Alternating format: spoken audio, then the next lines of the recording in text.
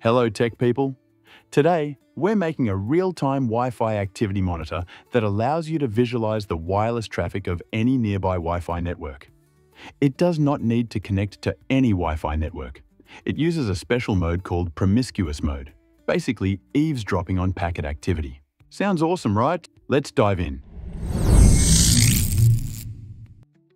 We'll need an ESP32, an OLED screen. This one is 128 by 64 pixels. Connect the OLED to the ESP32, SDA221 and SCL to pin 22, VCC to 5 volts and ground to ground.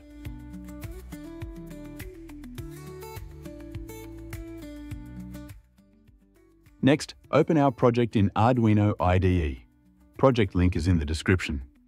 If you haven't already, install the necessary libraries. We need the Adafruit GFX and the Adafruit SSD 1306 library. Install them from the Library Manager.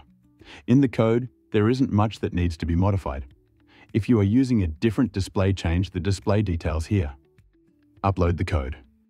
If everything went right, you should see the traffic of the first Wi-Fi network. To switch networks, press the onboard button on the ESP32.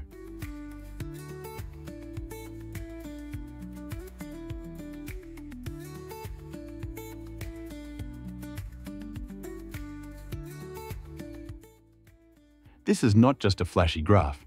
It shows real-time packet traffic for a selected Wi-Fi network. If a new device connects to your network, you'll see a spike. The taller the bars, the more active the network is. This helps detect network congestion or just figure out which of your networks is busier.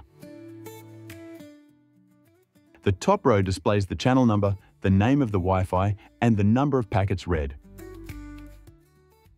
It is also monitoring for de-auth attacks. The onboard LED stays on as long as there are no attacks found. If a de-auth attack is found, the LED goes off. So if your Wi-Fi is feeling slow, this little tool might actually help you see why. Comment if you have any questions. And as usual, a like and subscribe would be amazing.